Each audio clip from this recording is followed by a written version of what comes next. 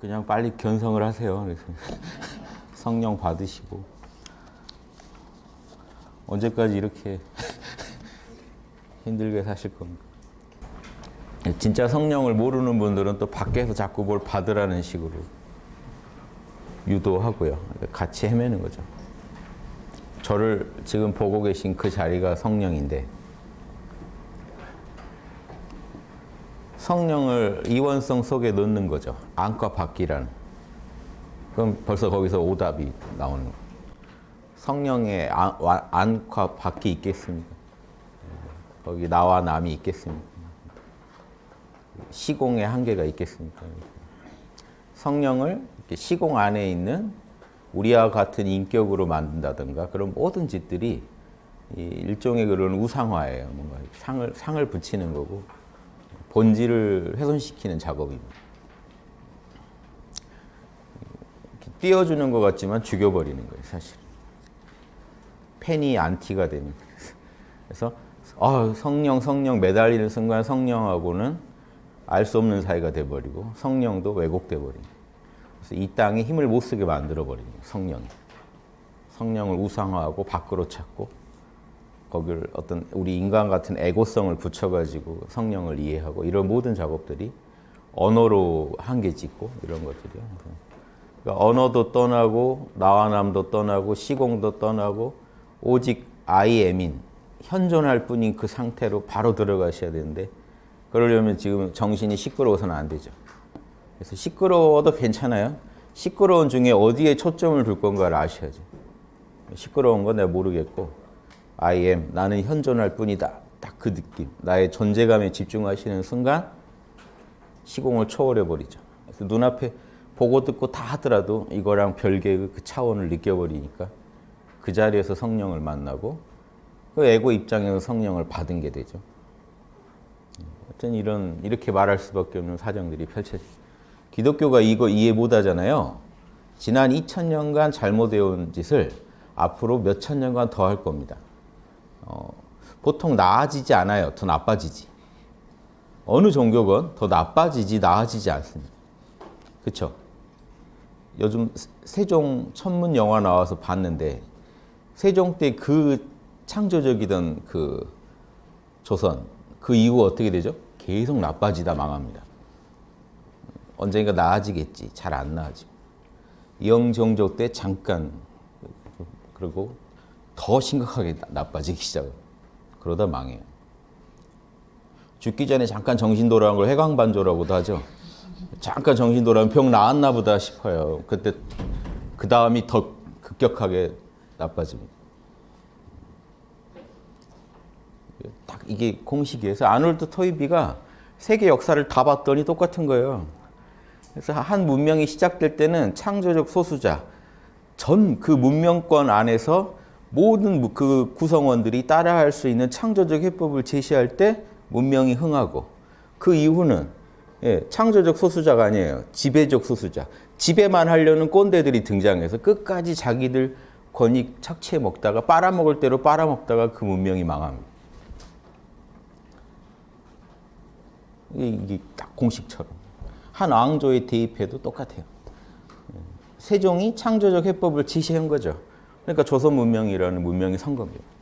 조선 막 욕하지만요. 한글 만들어준 거 조선이고 성리학 욕하지만 한글을 만든 원리가 성리학입니다.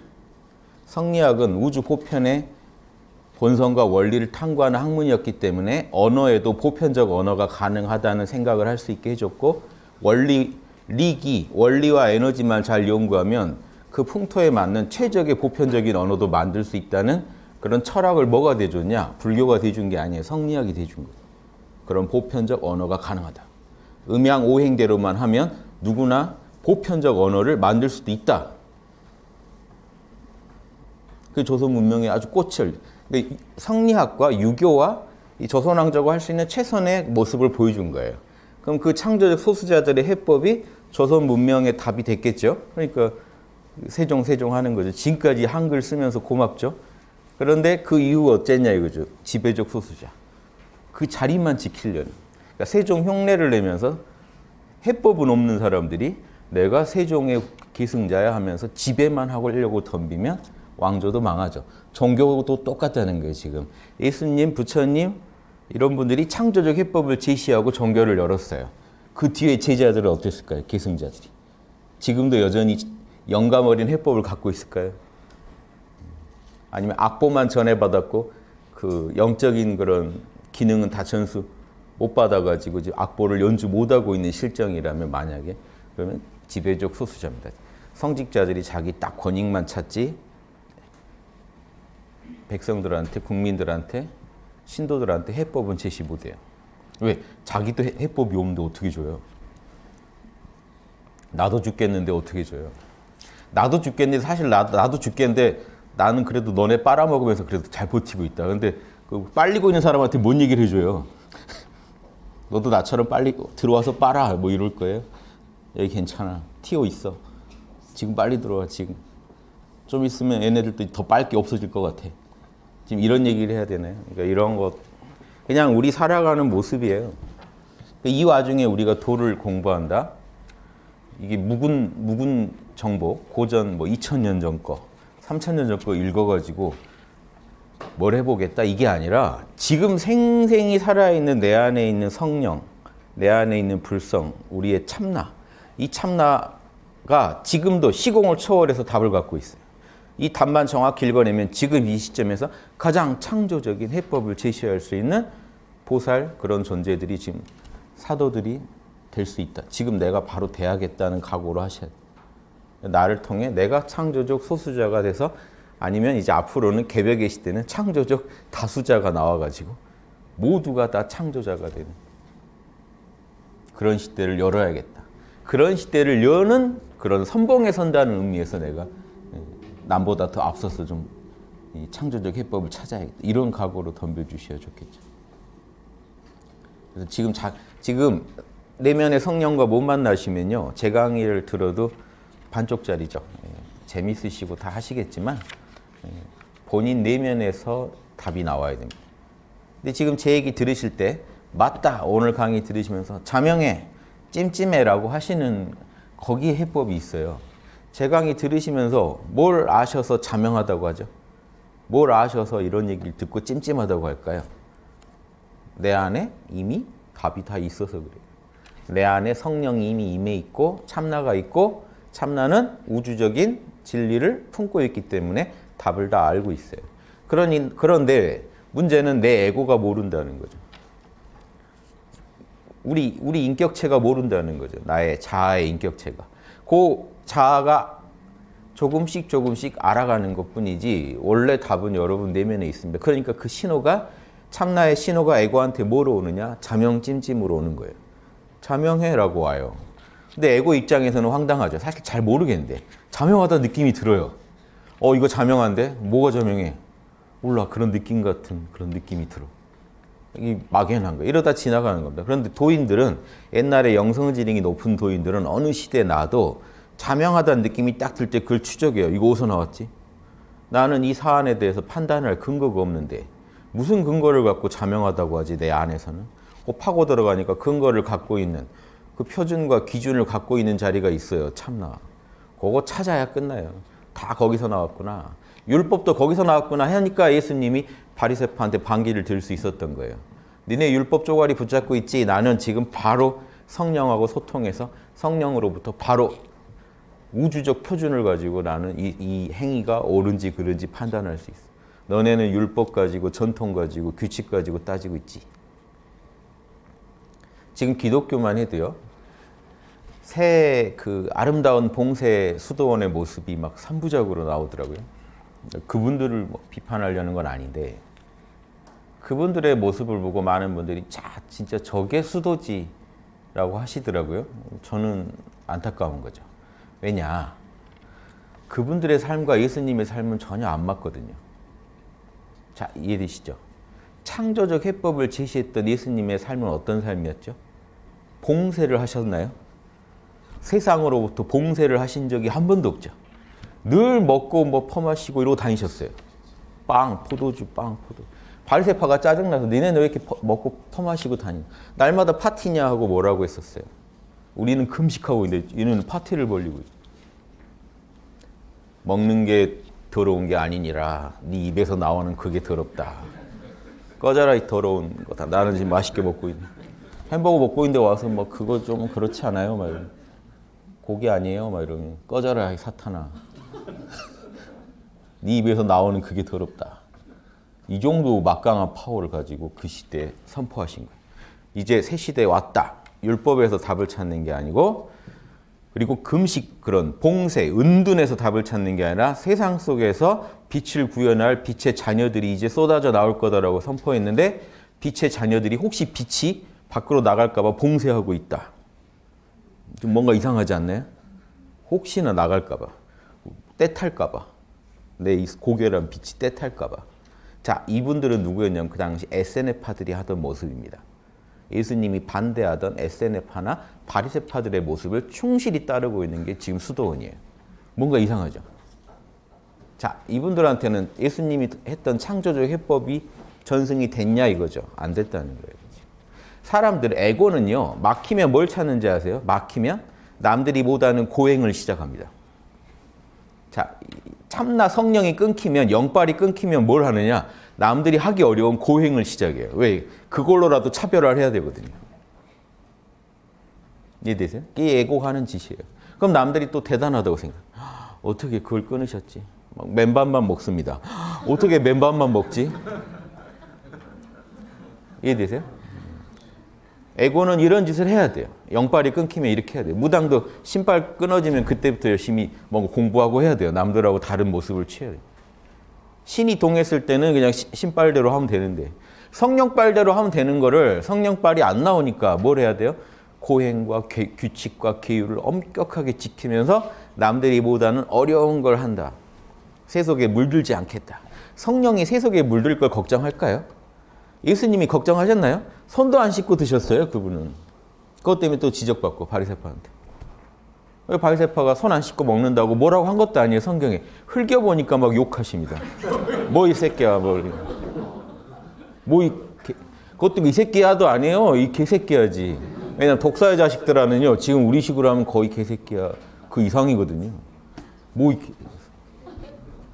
뭐이 개자녀들아. 하면서 막 퍼붓다. 이게 이게 충격 요법을 주려고 하신 거예요. 충격을 주는 거예요. 니네들이 알고 있는 세계관을 붕괴시켜 주마 하는 수준이에요. 니네들은 그 안에서 지금 가상의 천국을 만들어 놓고 즐기고 있다. 근데 거기는 아쉽게도 천국이 진짜 천국이 아니다. 진짜 천국으로 보내주마. 그러려면 한번 깨져야 된다. 세계를 붕괴시켜야 돼. 그들의 세계관, 그들의 마음속에 구성되어 있는 세계를 붕괴시켜야만 갈 수. 그러니까 센 말들을 막 하신 거예요. 천국에 갈 거라고 믿은 사람들한테 이 사탄의 자식아 이러면 충격받잖아요. 집에 와서 아니라고 우겨도 집에 와서 혹시라고 생각해 볼 수 있어요. 혹시? 안 그래도 좀 찜찜했는데. 그러다 이제 다들 같이 뭉개면 또 뭉개고 가겠죠. 이런 식인 거예요. 그래서 잘 보셔야 돼요. 그래서 오늘 도마복음도 예수님의 정수, 더 리얼한 예수님의 가르침을 배우기 위해서 공부하는 겁니다. 근데 답은 이미 여러분 알고 있어요. 성령에서 답을 찾아야 돼요. 여러분 성령 외에 다른 답이 있지 않아요. 성령의 소리 듣는 게 지상 천국입니다. 그 모든 구성원 각자가 성령의 소리 들으면서 그 안에서 답을 찾는 시대가 지상 천국이고 신약의 시대고 그 신약의 시대를 2000년 전에 선포하신 거예요. 이제 시작됐다라고. 왜? 내가 시작했으니까. 한 명이라도 되면 된 거다. 인류 중에 한 명만 해도 할 수 있는 거다 하고 시작 선포하신 거예요. 그 전에는 다 율법, 무슨 고행 이런 데만 매달렸습니다. 불교도 똑같아요. 소승 수행자들이 계율, 고행에 집착할 때 어때요? 고행하지 말라고 부처님이 그렇게 했는데도 또 가시고 나니까 또 고행하고 계율 지키 왜? 남달라야 되거든요. 에고들이 일반 중생들이 못하는 걸 해야 대접받기 때문에 성직자로서 창조적인 영감은 사라지고 또 그런 소수 꼰대들의 불교를 만드니까 거기에 반발해서 나온 게 대승불교. 누구나 다 불성을 불성을 가지고 있으니 누구나 다 불성대로 살면 그대로 보살이다. 중생 모습 그대로 출가할 것도 없이 장사꾼인 유마가 그대로 위대한 보살이 될 수 있듯이 보살이 돼버릴 수 있다. 이게 지구상에 선포되고 있는 모든 사대 성인들의 가르침의 핵심들이 뭐냐? 지금 이 중생의 모습을 가지고 그대로 하나님의 사도, 불성의 대리인 보살, 예, 양심의 대변자인 군자가 되어야 한다 이거. 어디 출가 찾고 이러면 벌써 아니에요. 그래서 앞으로 올 게 이제 정신개벽이다라고 우리 또 이 선배들이 말씀하셨는데 정신개벽이 오려면요 종교성을 초월해야 된다. 한 종교가 주도해서 정신개벽이 올까요? 올 수가 없습니다. 여러분 기독교에서 하는 걸 불교가 따를 리가 없습니다. 불교가 주도하는 걸 또 기독교가 따를 리가 없습니다. 종교를 초월해서 종교를 초월해서 각자 자기 안에 있는 신성의 소리를 듣고 바로 따르는 게 중간에 매개자 없이 브로커 빼고 다이렉트로 하나님하고 연결해서 부처님하고 연결해서 각자 자기 내면에 있는 양심의 율법을 따르자는 게 모든 동서양 대승사상의 핵심입니다. 이게 올라면 인류가 얼마나 성숙해야 될까요? 그 성숙이 안 되니까 지금까지 안 오고 있는 것 뿐이에요.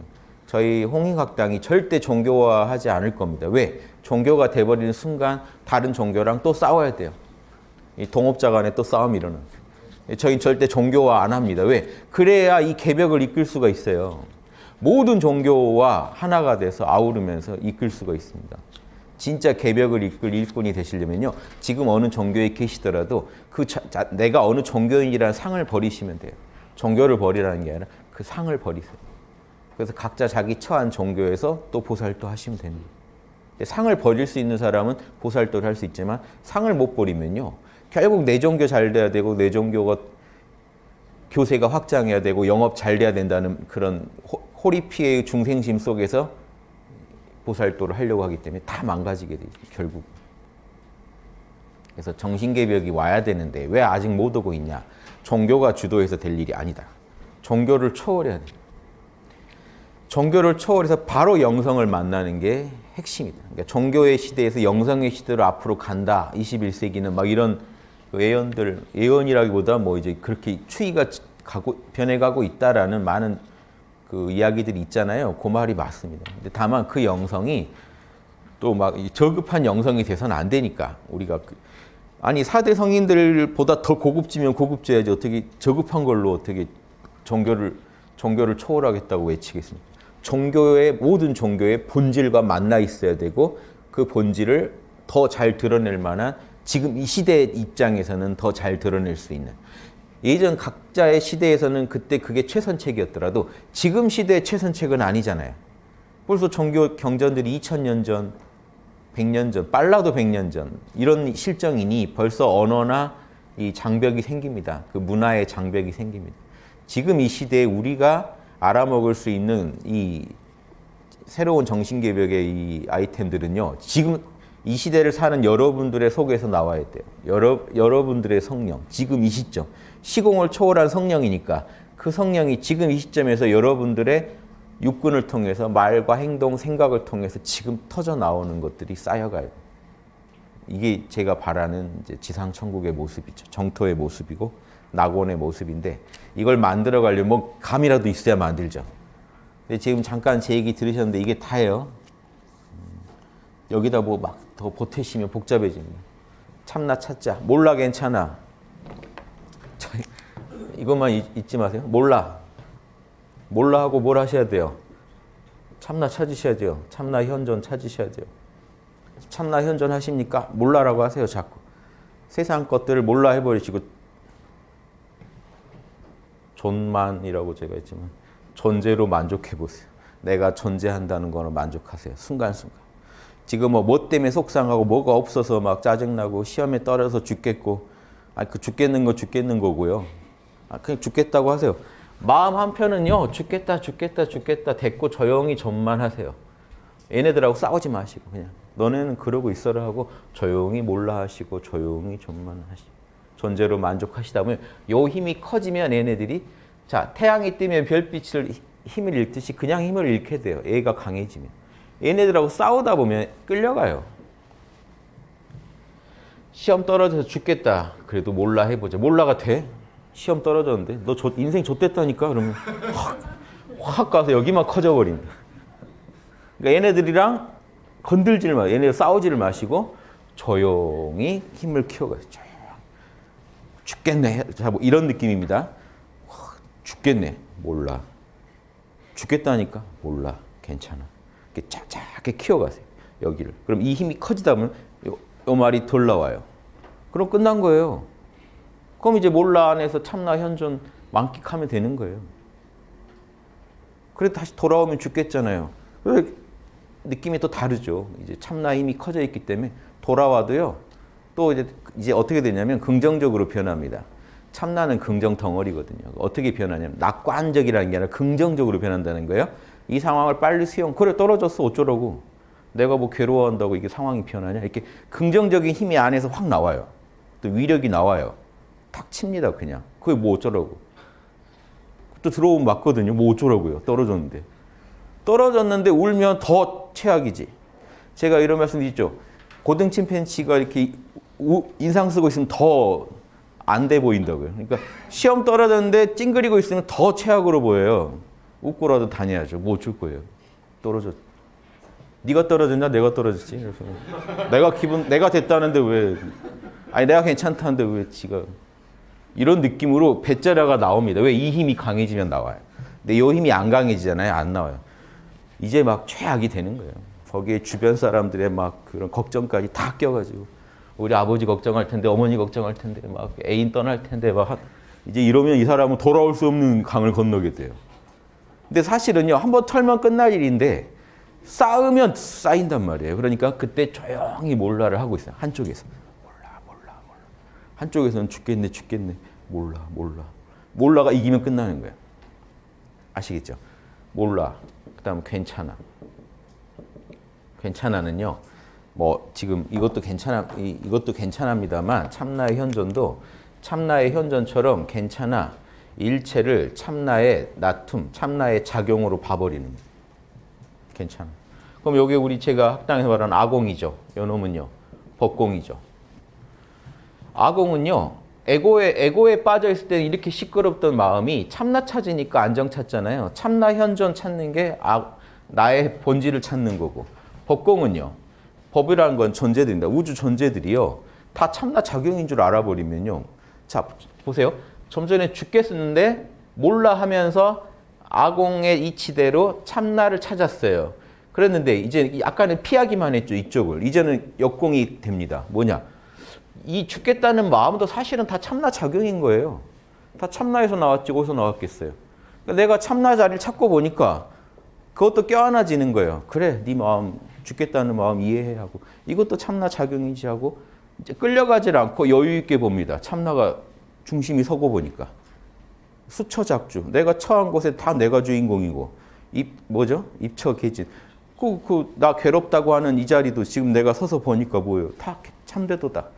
그럼 그 너도 이해가 돼버려 이제 감싸 안을 수가 있어요.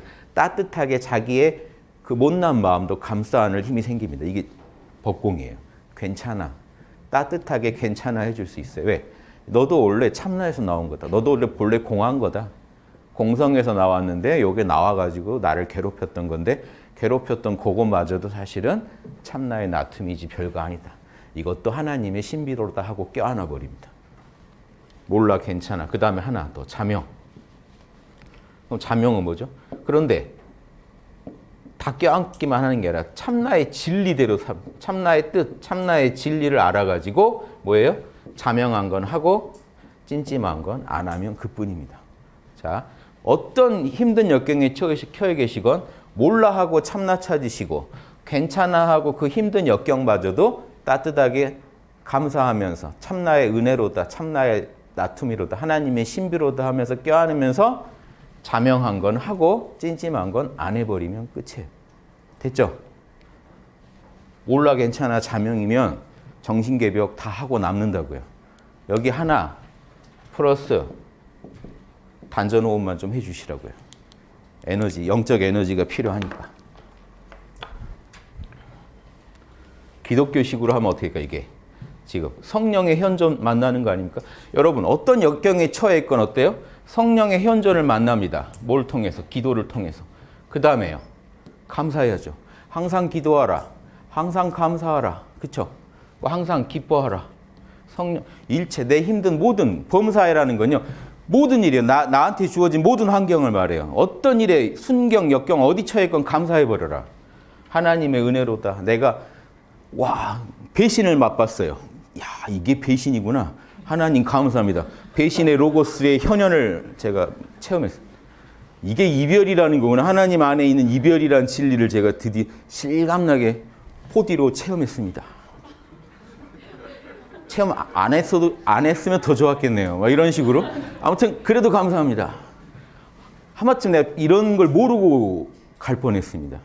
살아서 이런저런 경험들 하는 걸 하나님 입장에서 보면요. 다 그냥 감사해질 수가 있는. 그러니까 늘 기뻐하고 항상 감사하고 이게 가능한 거예요. 성령은 우리 안에 늘 있으니까 늘 기도하고 늘 기뻐하고 늘 감사하고 그 다음에 뭐라고 했죠? 사도 바울이 선악을 꼼꼼히 따져가지고 선은 반드시 하고 악은 반드시 하지 마라. 데살로니카 전서에 나와 있는 신법입니다. 바울의. 이게 이 부분이 지금 하나님 만나는 데까지가 칭의죠. 칭의. 아, 여기까지. 여기까지가 칭의면 이쪽은 이제 성화입니다. 실제로 거룩해지려면 하나님의 진리를 성령의 진리를 알아가지고 진리대로 실천하고 음, 선악을 판별하면서 실천하는 게 성화거든요. 여기까지는 하나님 안에서 기도하고 기뻐하고 감사하는. 그러면서 일체를 하나님의 신비로 받아들인 자거든. 자, 홍익학당 거를 홍익학당은 종교가 아닙니다. 그냥 철학하는데요. 과학하는 데 있죠. 과학이 종교 아니죠. 어, 스티븐 호킹한테 기도하고 있으면 종교죠. 아, 뭔 얘기인지 아시겠죠? 아인슈타인이시여 하면서 뭐 108배 하고 이러면 종교인데 그냥 아인슈타인이 발견한 그 자명한 진리가 좋으면 종교가 아니에요. 물론 종교성은 있어요. 사람한테는. 그 믿고 싶은 그 신앙의 막 거기서 위안도 받지만 이 학문성이 더 강해야 됩니다. 도학, 철학.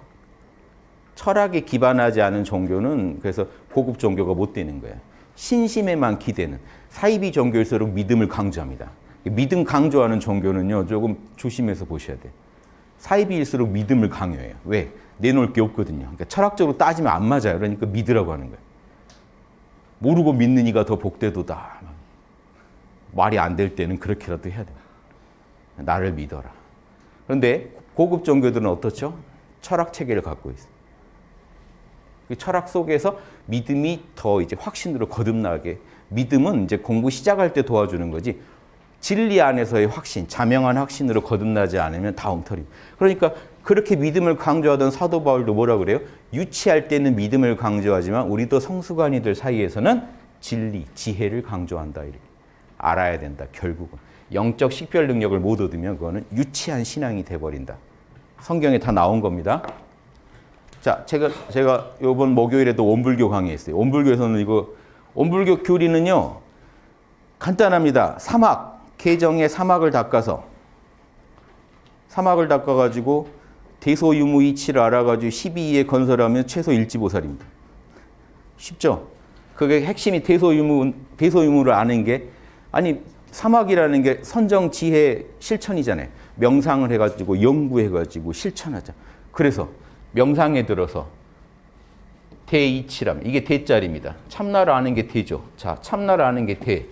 참나의 입장에서 모든 이 만법들이 이게 소예요. 원불교에서 작은 것들. 형형색색의 현상계가 참나의 작용인 줄 알면 소를 아랍니다. 자, 명상 속에서 선정을 통해서 지혜를 연구했더니 어떻게 됐어요? 대소 이치를 다 알겠네요. 그렇죠? 절대계 참나를 알았고 참나에서 현상계가 나오는 거 알았고 소자리 알았고 유무 유무는 뭔지 아세요? 유 선은 있게 하고 악은 없게 하라는 거예요. 그래서 자 명한 진리, 거기서는 천지팔도란 진리에 따라서 기준에 따라서 뭐해요? 자명하면 하고 악하면 하지 마라. 대소 유무, 아공 복공 구공 이해되시죠? 몰라 괜찮아 자명 정신개벽의 핵심 키입니다. 이것만 아시면 원불교에서도 단전주 하죠. 단전이 기운이 차야 기운이 차야 저희 단전호흡 해야 뭐가 또 열리나요? 이러면 성화에서 이제 뭐로 가죠? 영화. 원불교에서는 영단이라고 그러죠. 신령한 단이 만들어진다. 참나가 에너지까지 확보하게 돼요. 에너지 작용까지 더 파워풀하게 부릴 수 있게 돼요. 그게 부활체의 비밀입니다. 성령이 성령 에너지까지 생명수까지 확보하게 되는. 그러면 내 몸 안에 내 몸 지금 이 육체 몸하고 이게 없어져야 부활체 생기는 게 아니에요. 이 몸 안에 여러분 몸 안에 이미 부활체의 재료인 에너지체가 깔려 있어요. 침도 다 거기다 놓는 거예요. 경락에다가. 단전도 여러분 육체 해부에 보면 단전 없어요. 단전호흡 하시면 여기 그 단전 자리에 정확하게 알이 있습니다. 근데 해부 하면 없어요. 그래서 저희 학당 회원분이 외과 의사신데 내 날마다 배를 여는데 없더라. 단전이 없더라. 신기하죠. 근데 하면 또 있어요. 신기하죠? 그럼 단전부터 에너지체예요. 단전호흡이 가능하다. 그분은 부활체를 만드실 자격을 얻으신 겁니다. 그게 단전호흡에 단전 열리면 환호하는 이유가 뭔지 아세요? 이 양반은 부활체의 답을 얻으신 거지. 왜? 내 몸이 아닌 몸을 찾았어요, 지금. 경락의 몸을 찾았어요. 그런데 내가 공부를 안 하면 죽을 때 이건 그냥 놓고 가야 됩니다. 혼만 날아가요. 근데 공부를 해놓으면 어떻게 돼요? 단전호흡을 하면서 단전호흡만으로 안 돼요. 성령, 성령과 성령 에너지의 만남이에요. 성령의 불과 성령 에너지 물의 만남. 수화의 조화. 불과 물의 조화가 이루어지면 여러분 몸 안에서 정자와 난자가 만나는 것처럼 새로운 생명체, 새로운 부활체가 거듭납니다. 그래서 여러분 에너지 몸이 여러분 성령의 지배하에 들어옵니다. 그래서 여러분 성령으로 만들어진 몸이라는 느낌을 확실히 원래 있던 재료로 만들었지만 성령의 몸이라는 걸 확실히 알면서 팔 다리가 다 생겨요. 아, 원래 있어요. 원래 있는데 거듭나요. 내 몸이라는 느낌을 가지고 거듭나면서 팔 다리가 새로 생겨 것처럼 느껴지죠. 내 성령의 지배를 받는 몸이 생기니. 안 보이세요 지금? 지금 꽉 차 있는데. 그렇게 제주 좋으면 카메라에 보여보든가 이러실 수 있지만 안 보여드릴 거예요. 제 거니까. 그래서 저는 명상할 때 단전호흡을 했기 때문에 앉아서 참나만 찾고 있지 않아요. 참나 상태에서 몸을 보면 팔다리가 또렷해져 가지고 팔다리 느끼면서 쭉 몸, 몸 관리 해가면서 있어요. 근데 육신은 아파도 에너지체라도 건강해라 하고 그럼 육신에도 또 육신에 육신에도 도움이 되니까 몸이 아플수록 더 에너지체를 집중해가지고 에너지체 기운이 평화롭게 돌아가게 더 이렇게 신경 씁니다. 그러니까 기혈이 잘 돌아가게 한다 이런 소리예요. 동양에서만. 그러니까 침 놓는 게 에너지체 순환 잘 되게 하려고 하는 거예요. 그런데 그 에너지체가 한번 거듭나요. 그걸 부활체라고 그래요. 누구나 여러분 몸 안에 에너지는 있지만 거듭나지 않으면 그걸 부활체라고는 안 합니다. 그래서 도마복음 가면 뒤에 가면 이런 얘기가 나와요. 하느님이 어떻게 이런 비루한 것에 그 안에 이렇게 귀한 걸 넣어놨을까? 숨겨놨을까? 그걸 일반적으로는 다 그걸 성령이라고 풉니다. 근데 그 성령 아니에요. 에너지체지. 이건 뭐 부활체를 봤어야 알죠. 그런 얘기를. 성령 얘기랑 부활체 얘기는 다른 얘기. 성령 얘기랑 성령의 에너지 얘기는 다릅니다.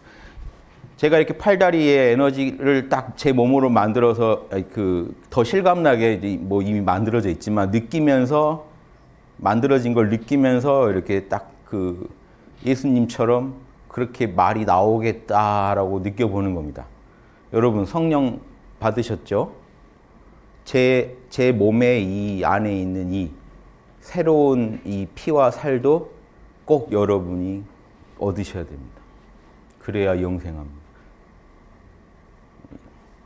성경 실제로 해보기.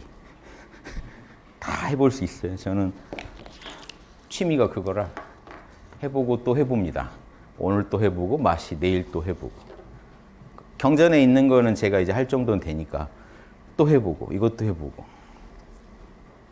그 그래야 그분들이 그 말할 때의 실감 나는 속사정이 느껴지거든. 무슨 마음까지 어떤 마음까지 품고 이 말씀 하셨을까? 예. 예. Bye.